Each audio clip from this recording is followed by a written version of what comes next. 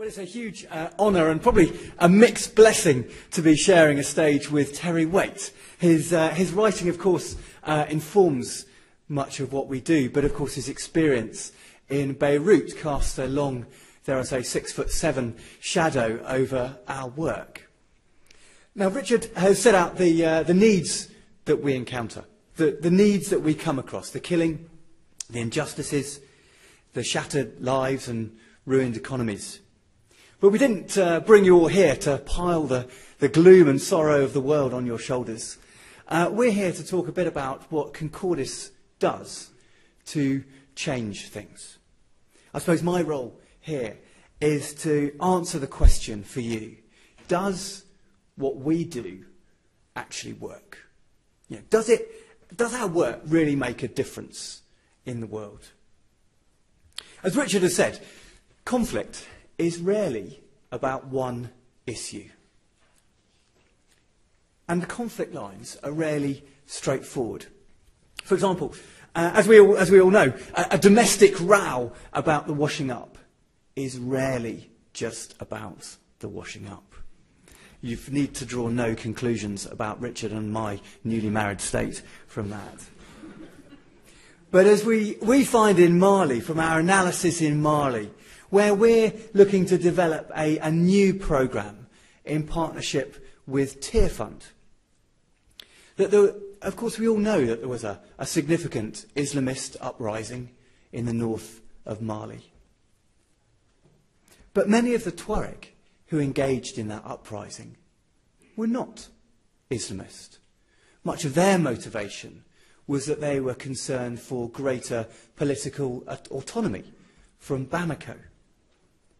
And yet it would be a further mistake to believe that actually this was all about an independence movement, the creation of a, a, a Tuareg state, uh, the Azawad uh, province. Because many of those in the affected region in, in the north of Mali were Songhai, or their Pearl. They, they have no particular interest in a Tuareg state. And then as you go into the situation more closely, you can see that during the conflict, whilst uh, the rule of law was really not in place during all of the, the turmoil of the conflict, you have people brutalized by that conflict. And you see that this, this creates the conditions for a myriad of other smaller conflicts between communities, even between families. And in turn, each of those conflicts cause another set of grievances, another set of problems.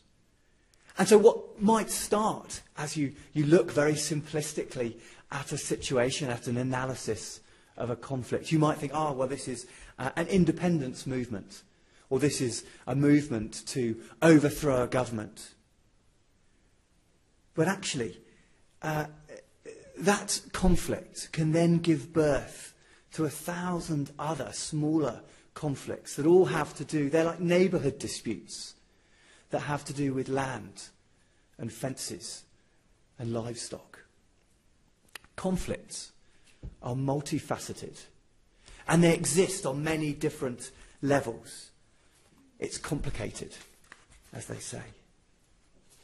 Which is why, whilst we try to be as well informed as we can possibly be, It's really important to us that we retain the humility not to believe that we have the solutions to the world's problems. And that's why we use local staff where possible. It might not have escaped your notice that we're all, uh, all a bit white and male at the front here. But actually, that's because the staff that are doing most of our work, the men and women in our teams that are doing most of the work, that, well, they're, they're there. They're busy. They're, they're doing the work on the ground. Because they are the ones who have that best grasp of the culture, of the history, of the languages that are needed. They realize that, for example, the co- conflict in Cote d'Ivoire did, did not start with the election in 2010. There are deep roots to that conflict. And it's important that we explore the roots of that conflict, as Terry has just said and made very, very clear. And also, that's why we need to work at several different levels at once. So we work at a, at a community level where the conflict is felt most acutely. We work to resolve local grievances right at the source, preventing, seeking to prevent that escalation into further violence. So we work at the community level. We work between the community and community leaders, civil society leaders, and the regional authorities, the regional government, the regional power brokers. We work to try to help those who govern actually have take that governance position responsibly and govern for the benefit of the people and those who are governed to hold those who govern to account facilitating a dialogue between the people and the local government. So we work at community level. We work at that middle level. And then at a higher level, we speak with those who have the power to make a difference. Whether that's the, the national government, the national development agencies, or folks in the international community. And we try to advocate the recommendations that come out of our dialogue process to those with that power. And I have to say, this approach of prevention through dialogue and resolution of conflict and transformation of conflict is something that is really exciting to us. Yes, we seek to prevent conflict. We seek to prevent that crisis of conflict, that terrible moment that we've all seen on television where Terry was taken into a, a van in Beirut. We seek to prevent those crises. But actually, much of what we do is to examine the root causes of that conflict, to work for long term peace, but also for economic and social development, human flourishing. So in uh, Mauritania, in Mauritania, you may or may not know, uh, a large group of people in Mauritania, mostly Pulaar, uh, were expelled uh, from the country in 1998. Uh, and they were expelled, and their land, their houses, were given to people mostly from a, a Haratine group, many of whom were former slaves, some of whom, and I will choose my words carefully, live in conditions that some people might construe to be a bit like slavery. Pause. When the refugees returned, seven, eight years ago, of course, they found their land, uh, their homes, occupied uh, by others. And so they moved in alongside. And the conflict in the south of Mauritania is between these two groups those former slaves and those returning refugees, both very disenfranchised, very disempowered, both very poor. About half a million people live in conditions of what might be construed absolute poverty below $1.25 a day. And they live side by side and yet hostile to one another. And as we did our analysis, we found many examples where people, well meaning people, even, yeah, well meaning people, let's leave it at that, uh, gave development assistance without really doing an analysis of what was going on there. So they gave development assistance to one community to the exclusion of the other community. So they might say, well, you know, clearly there's a need for uh, a mill to help grind the grain, to save that backbreaking work of grinding the grain. They give a mill to one community. Or they'll, they'll provide a well for one community. Put this well in. Meanwhile, the other community is still backbreakingly grinding their grain. They're still walking for miles to drink unsafe water from the river. Well, wouldn't you know it? Those mills happen to be broken now. Many of those wells have somehow a dead goat is in the bottom and they're poisoned.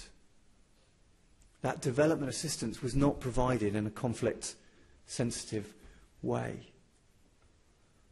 And when cows from one community start eating the crops from the other, it just gets very, very difficult and extremely dangerous. So, in that situation, we found respected people in the community. Some of them are teachers, civil society leaders, religious leaders. And we trained them. We've trained in Mauritania, we've trained 120, another Mauritania, another 120 in Cote d'Ivoire. Trained them to be community mediators. And we sent them out two by two into the communities. And so if there's a conflict between Haratine and Pearl, we'll have one Haratine and one Pulaar, and they'll work together. That helps with the languages, because often people don't speak one another's languages, but also helps with that real perception of impartiality in, the, in all our negotiations. And they work with those communities and try and work out, really get to the root of the conflict. It's back to getting to the root of the conflict, not what people say they're arguing about, but what's at the heart of this. And in most cases, even after a year, we're starting to see results. We're sta- folks are starting to see that actually, if they work alongside each other, they can get much better development assistance, more development assistance, than if they work against each other. They've realised that they can share a well or a school or an irrigation system. Actually, that means there's more, if there's an irrigation system, there's more land to go around. It, they realise it's in people's mutual benefit to work together rather than working against each other, especially if we then advocate on their behalf, advocate their recommendations with those with the power to make a difference, to deliver that assistance. But that's all very well. You can say, well, that's just vested interest. But what we've also found, and this is exciting, is that gradually people's behaviour towards the other starts to change. People have started to go to one another's mosques People have started to go to one another's weddings, which are big community events. And as they pray together, as they do community together, they have started feeling able to trade with one another. If you've got two communities living side by side, who are not trading with one another. That is, gives a severe problem for the market. There's a real limit to the market that is available for your produce. In this august legal establishment, I feel ought to provide you with hard facts. So forgive me if we move uh, from uh, Mauritania back to, to South Sudan, where we've been working longer and there are, there's more going on. The release of the children shown in, in, in that video, in the, Dink, in the Ngok Dinka and the Miseria. After that release happened, they started to trade petrol and diesel with one another. As a result of that, the price of diesel halved. The price of uh, petrol dropped from 750 South Sudanese pounds to 300 South Sudanese pounds. Opening up new markets, providing cheaper fuel, and therefore more economic access to those markets. Well, these are essential if communities are to reduce their dependence on aid, and if they, even the communities, but even the whole country, is to become more economically viable. And you know, once we've established these peace dividends, whether it's development assistance, livelihoods, access to markets, then we can start talking. Only then can we start talking about the real drivers of the conflict, which might be conflict over land or forced labour. This is dialogue for preventing conflict. It's dialogue for resolving conflict. And it's dialogue to transform the situations that cause conflict. That is the heart of our mission. It can be really tough, but it does work. The paramount chief of the Miseria said, It was the work of Concordis that compelled me to return these children. It was the work of Concordis that compelled me to return these children. And why?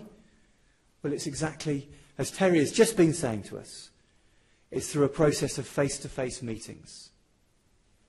It's through building relationships of trust. And it's getting to the root of the issue. I have to say, we find it quite difficult to explain what we do. A lot of it's very sensitive, and if we're not careful, we get all bogged down in lots of detail about this group and that group and the other group. One of the things we've tried to do is to, to, to boil this down into a, a, kind of an illustration that, that sort of works. But we, I have to say, it's a kind of a work in progress. So can you, this is all part of our kind of conversation today, can you have a look at this and see if this makes clear what we do? People in conflict have a lot to say. Often, no one is listening. We listen. We bring people together to talk. In focused dialogue, they are able to find common ground.